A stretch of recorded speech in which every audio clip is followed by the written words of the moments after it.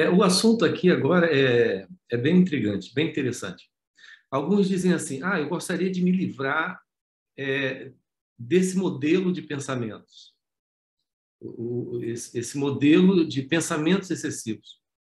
Então, eles, eles têm muito essa questão. Como, como posso me livrar desse hábito, desse pensar excessivamente?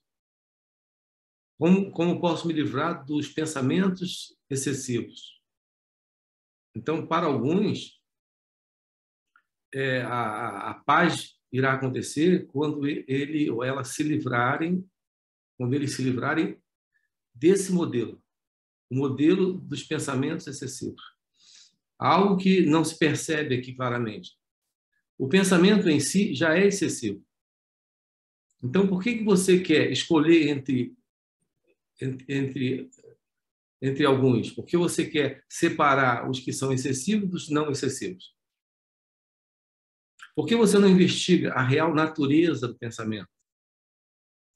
O que é o pensamento? É? Nós vemos o pensamento, na realidade, como um fenômeno, uma aparição.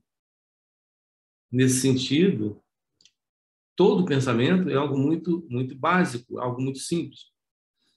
E, de uma certa forma, ele é até utilitário em alguns momentos.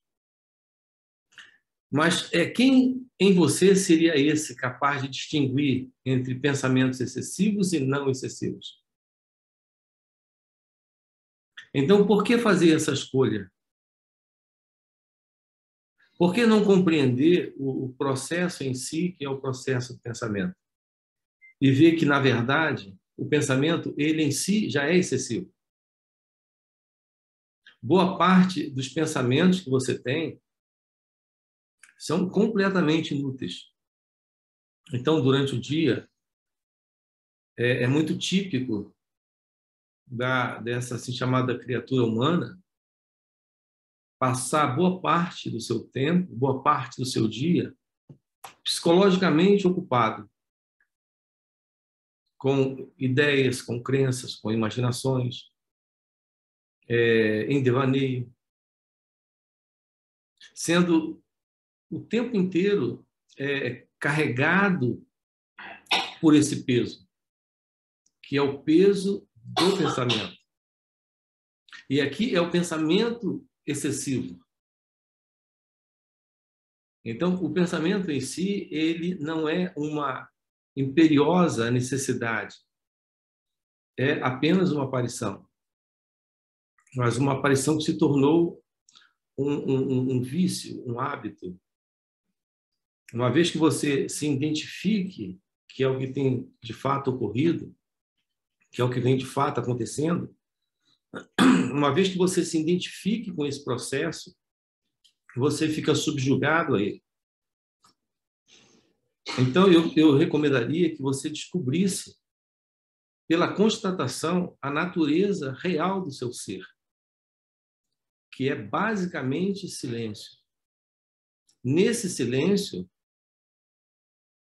não há espaço para o conflito criado e produzido pelo pensamento. Então, uma vez que você constate a natureza real sobre quem é você, a verdade do seu próprio ser, uma vez que você constate o silêncio de sua natureza divina, o pensamento não é mais o problema. Então, não iremos mais falar em pensamento excessivo. Não iremos mais falar da necessidade dessa identificação ou dessa desidentificação com o pensamento. Porque uma vez que o seu ser se revela, se revela como o silêncio, como a verdade. E aqui, sendo essa verdade, sendo esse silêncio, não há nenhum problema com o pensamento. Não há nenhum conflito com o pensamento. Então, não surge mais essa questão. Mas enquanto isso não se revela, é necessário um trabalho nessa direção, um trabalho de desidentificação com o pensamento. Então, você não precisa se livrar dos hábitos dos pensamentos excessivos.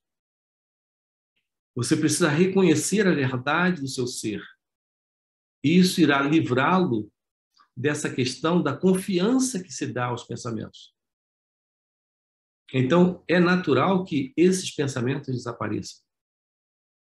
Então, é algo que é claramente descoberto nessa realização. Por exemplo, a imaginação é algo que termina. O devaneio é algo que termina. É esse modelo de pensamento negativo ou negativista, produzindo constantemente sofrimento pela ansiedade, pela preocupação, pela antecipação imaginária de coisas que irão ou não acontecer, tudo isso desaparece. Porque isso só tem base nessa ilusão, na ilusão dessa falsa identidade, na ilusão dessa identificação com o pensamento. Então, tudo que você precisa é se desidentificar dos pensamentos. Essa desidentificação dos pensamentos revela o lugar real do pensamento nesse fenômeno existencial. É claro que isso requer um trabalho. Colocado aqui é, dessa forma, parece algo basicamente muito simples. Só que, na verdade, na prática, apesar de soar de uma forma simples, não é, na verdade, algo fácil. Você tem passado todos esses anos identificado ou dando verdade a uma identidade que é falsa. Essa identidade do eu que basicamente são pensamentos, lembranças, memórias, imagens, crenças, imaginações. E tudo isso precisa desaparecer, porque nada disso é você. Seu ser não é isso. O nosso trabalho em satsang é a constatação da verdade sobre quem nós somos.